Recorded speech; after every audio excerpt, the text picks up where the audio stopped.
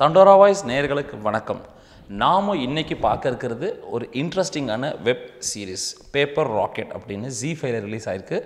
நம்ம கிருத்திகா உதயநிதி இயக்கத்தில் காளிதாஸ் ஜெயராம் தானியா ரவிச்சந்திரன் அதை தாண்டி ரேணுகா கருணாகரன் கௌரி கிஷன் இப்படி மிகப்பெரிய நட்சத்திர பட்டாளம் நடிச்சிருக்கிற ஒரு மெகா ஐ மீன் ஒரு வெப் சீரிஸ்னு சொல்லலாம் பேப்பர் ராக்கெட் இந்த பேப்பர் ராக்கெட் என்ன சொல்லுது அப்படின்னு பார்த்தீங்கன்னா லைஃபோட ஃபிலாசபியை ரொம்ப அழகாக சொல்லுது.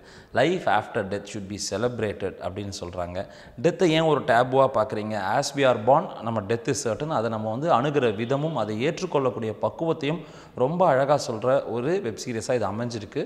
இன்ஃபேக்ட் கிருத்திகா உதயநிதியை பாராட்டியாகலும் தன்னுடைய அந்த வயசுக்கும் மீறிய ஒரு மிகப்பெரிய ஃபிலாசபியை ரொம்ப சிம்பிளாக குழப்பம் இல்லாமல் சொல்ல ட்ரை பண்ணியிருக்காங்க இது ஒரு road journey movie road journey மூவினால நாலு ஃப்ரெண்ட்ஸு ஜாலியாக ஆட்டம் பாட்டம் கொண்டாட்டரோ போவாங்கன்னு பார்த்தா இதுலேயும் நிறையா ஃபீல் குட் மூமெண்ட்ஸோட லைஃபோட ஃபிலாசபிஸ் ஒவ்வொரு முடிச்சா அவுத்து அவுத்து அவுத்து அழகாக சொல்லிக்கிட்டு வருது. இதுதான் இந்த பேப்பர் ராக்கெட் இதில் காளிதாஸ் ஜெயராம் ஒரு யங்ஸ்டராக வராரு. கம்பெனிஸ் நஷ்டத்தில் ஓடக்கூடிய கம்பெனிஸை அட்டாச் பண்ணக்கூடிய ஒரு பொறுப்பில் இருக்கார்.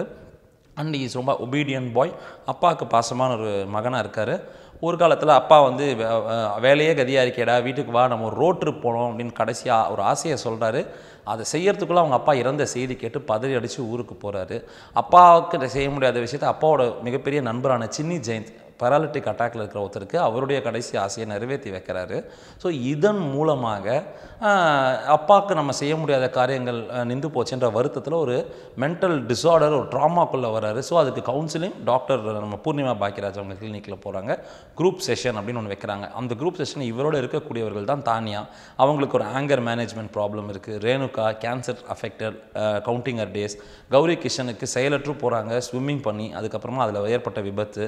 கருணா கருணாகரன் அவருக்கு வந்து லைஃபே பிடிக்கலிங்க நான் டெத் தான். எனக்கு சூசைட் தான் அப்படின்னு நினைக்கக்கூடியவர்.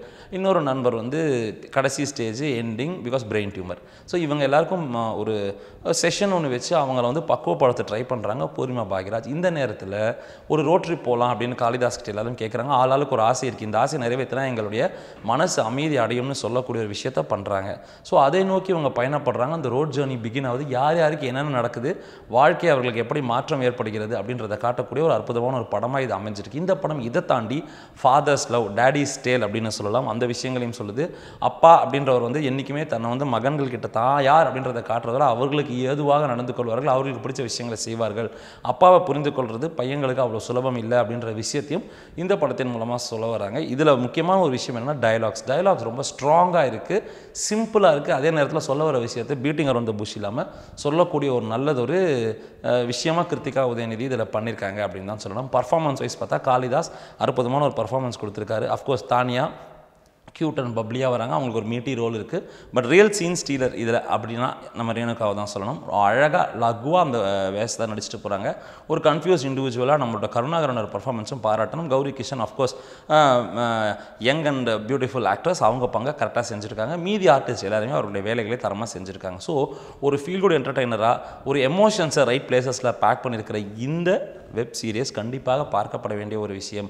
ஏழு பார்ட் வெப் சீரியஸ் ஜீல இருக்குது கிருத்திகா உதயனுடைய நல்ல ஒரு மேக்கிங்காகவும் அதில் கொடுக்கப்பட்டிருக்கிற விஷயங்கள் சொல்லப்பட்டிருக்கிறது லகுவாக சொல்லியிருக்கிறதுனாலையும் பார்த்து ரசிக்கலாம்.